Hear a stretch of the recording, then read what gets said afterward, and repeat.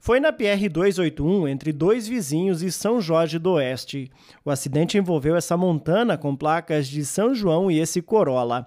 Os dois motoristas não resistiram aos ferimentos e morreram no local.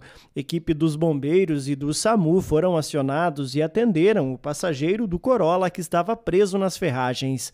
Ele foi encaminhado consciente ao Hospital Pró Vida em dois vizinhos.